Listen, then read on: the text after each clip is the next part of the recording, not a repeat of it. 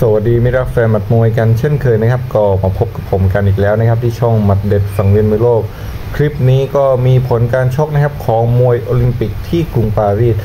ประเทศฝรั่งเศสมาฝากกันนะครับเออก็มีเมื่อคืนนี้นะครับก็มี 3 คู่ด้วยกันที่นักชกไทยทำการชกเมื่อคืนนี้นะครับ แต่ก่อนที่พูดถึงรายละเอียดของเรื่องนี้นะครับ ก็ฝากผู้สนับสนุนใจดีของเรากันด้วยนั่นคือพักยก 24 นะครับ ครบจบเรื่องมวย ต้องที่นี่ที่เดียวนะครับ พักยก 24 สามารถ add LINE ไปได้ที่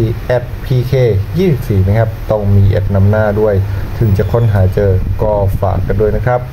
ก็เริ่มกันที่คู่ของออนักชกไทยชาวไทยกันก่อนแล้วกันนะครับนั่นคือทางด้านบรรจงสินศิรินะครับ ก็ต่อยในพิกัด 63.5 กิโลกรัม เจอกับนักชกคิวบา อาริสลันดี้อันวาเรสนะครับ คู่นี้ก็ต่อยกันในรอบ 8 คนสุดท้ายเนาะก็ผลปรากฏว่าบรรจงฟินฟรีนะครับ ก็สู้ไม่ได้ด้วยประการทั้งปวง ทั้งสปีดหมัดความเร็ว รวมไปถึงความแม่นยำความแม่นยำก็พ่ายคะแนนไป 5 ต่อ0เสียงอย่างเป็นเอกฉันท์อย่างเป็นเอกชันจอดใน8 8 8 คนสุดท้ายนะครับ เป็นที่เรียบร้อยแล้ว ส่วนอีก 2 คู่ที่เหลือนะครับก็คือนักชกหญิงล้วนๆเลย ก็เริ่มกันที่รุ่น 50 กิโลกรัมหญิงนะครับ จุธามาศรักษัตก็ชนะคะแนนฟาบิน่าโบโบกูโลวาจากอุซเบกิสถานนะครับเข้าสู่รอบ 8 คนสุดท้ายไปเจอกับนักชกจีนนะครับ ส่วนอีกหนึ่งคนก็คือทางด้านอ่าจันเจมส์สุวรรณแพงต่อยในพิกัด 66 กิโลกรัมหญิงนะครับ ก็เจอกับริกิต เอ็มบาบีจากประเทศคองโกนะครับซึ่งคู่นี้ก็รู้สึกว่านักชกไทยของเราจะโดนนับไปก่อนด้วย แต่ผลสุดท้ายก็ไทยเราก็มาเร่งแซงในช่วงท้ายๆนะครับ จนสามารถเอาชนะคะแนนไป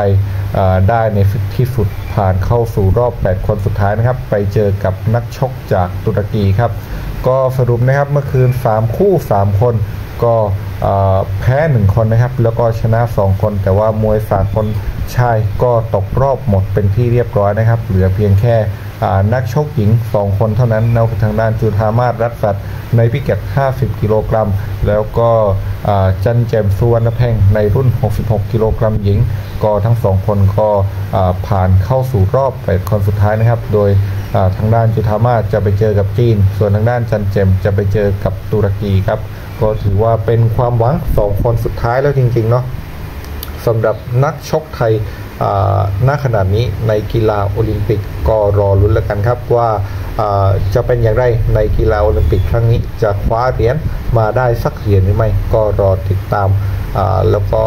รอพ้นกันต่อไปแล้วกันนะครับ ก็ไม่กี่วันก็น่าจะรู้แล้วครับว่าไทยเราจะได้เหรียญบ้างหรือเปล่าในกีฬาโอลิมปิกครั้งนี้ที่กรุงปารีสประเทศฝรั่งเศสครับ